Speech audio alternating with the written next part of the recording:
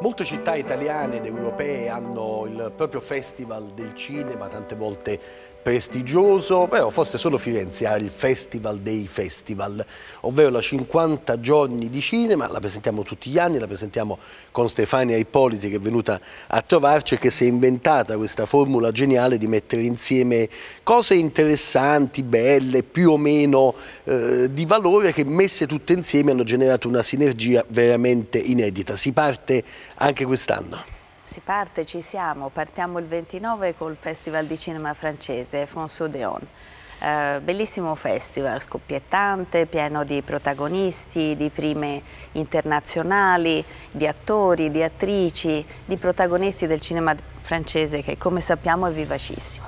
Fra l'altro quest'anno François Deon celebra una festa, perché in realtà, come voi sapete, l'abbiamo già detto anche insieme, François Deon ha raccolto il testimone di Fond Cinéma, il primo festival di cinema francese che dobbiamo a Aldo Tassone. È nato nell'85 quel festival. Un'esperienza straordinaria sì, è stata quella. Magnifica, eh. magnifica, che ha portato a Firenze grandissimi della Nouvelle Vague, tutto il cinema francese e dunque giustamente France Cinema che ne ha raccolto l'eredità lo festeggia, quindi 30 anni di cinema francese, più queste edizioni attuali di François Deon e, e, ed è bellissimo vedere quanto il pubblico abbia imparato ad amare, a conoscere e apprezzare la cinematografia dei nostri vicini francesi.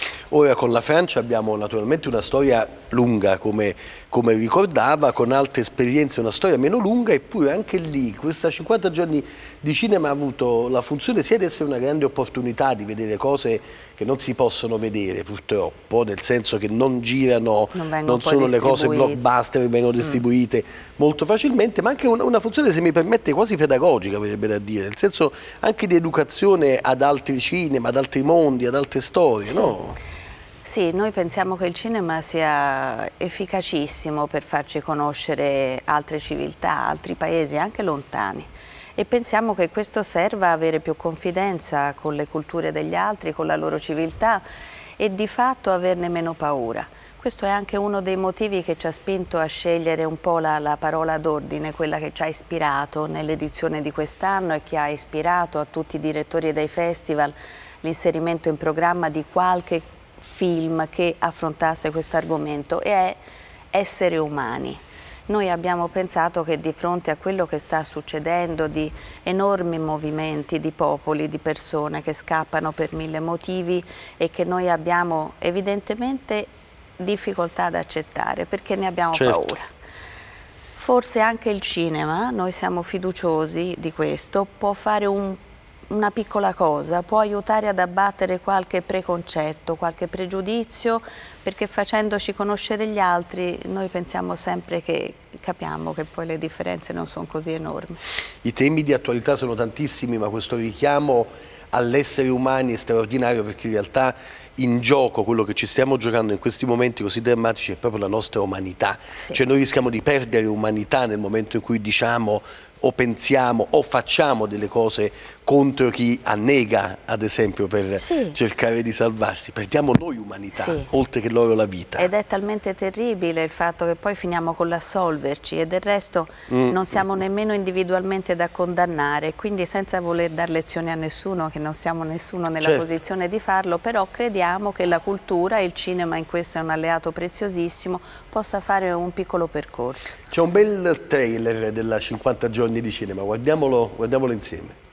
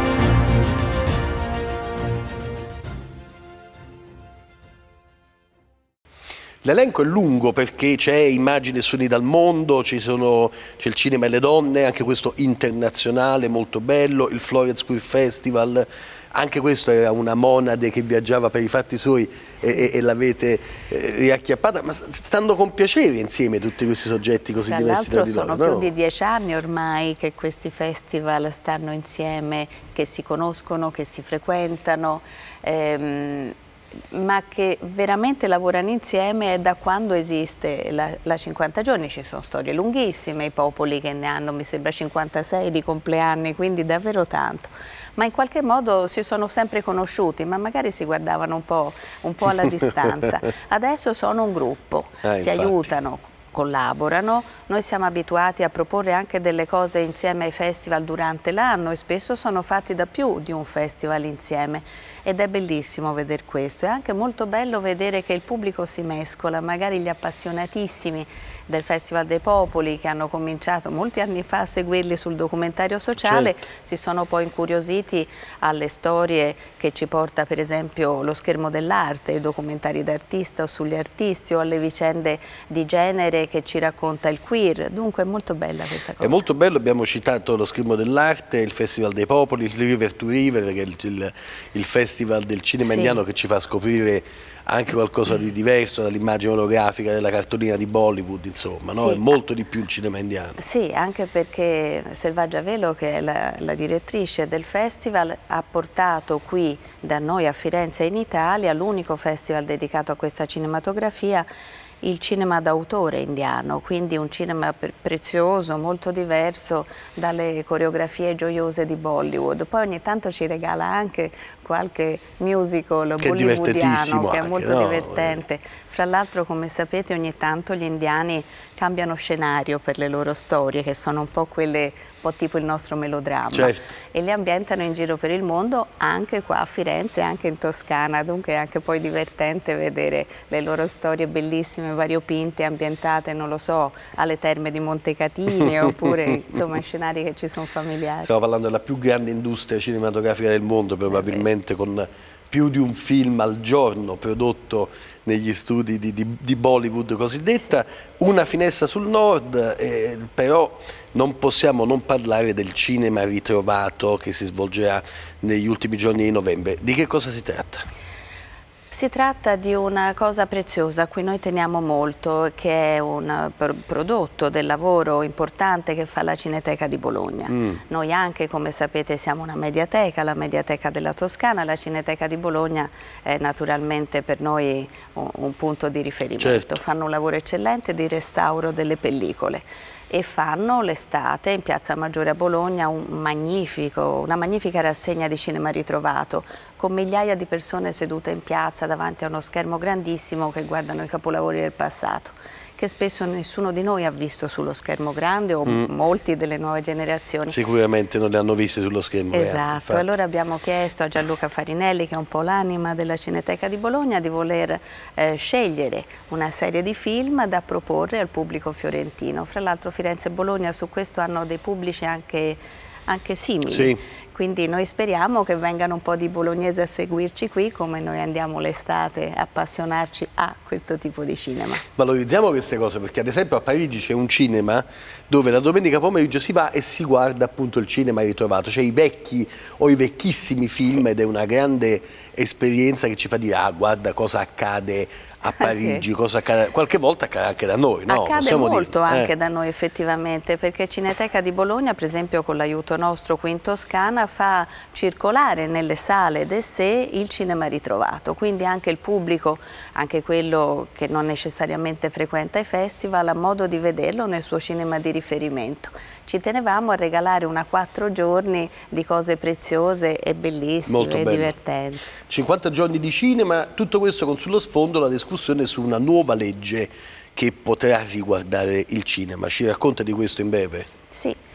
Il 30 mattina ci sarà un po' un punto della situazione a Palazzo Sacrati Strozzi, il Palazzo della Regione in Piazza del Duomo, eh, perché il direttore artistico di Fonso Deon, che meglio di noi frequentando il mondo del cinema d'Oltralpe, ha pensato di proporre in qualche modo di suggerire che si studiasse la legge del cinema francese sì. che esiste da molti anni e che evidentemente dà ottimi frutti perché come sapete tutto questo comparto in Francia è molto forte, robusto, le sale funzionano bene, si produce tanto, c'è tanto cinema francese che obbligatoriamente va in giro nelle sale, le televisioni devono contribuire al fatto di finanziare facendo i committenti di questo tipo di cinema. Allora la senatrice Di Giorgi, che è la prima firmataria, ha deciso di presentare un disegno di legge ispirato al sistema francese, è stato depositato e ora comincia il suo percorso di discussione, di confronto con le categorie del settore e non solo. E il 30 si parlerà proprio di questo con tanti ospiti francesi, eh, fra cui Garel, che è un personaggio importantissimo nel cinema francese, che ha anche una, un parte di, di ehm, programmazione del festival dedicata insieme al figlio, sono una dinastia di cineasti e attori. E sarà crediamo interessante ascoltare e capire che cosa potremmo fare perché il nostro cinema eh, si affermi sempre di più. Noi vinciamo molti premi, eh, abbiamo tante soddisfazioni, ma spesso sembra che ci attestiamo sull'eccezionalità, sul caso. Noi vorremmo invece che tutto questo fun funzionasse in maniera no, più affidabile, più strategica infatti. e continuativa. Grazie Stefania Politi. Grazie.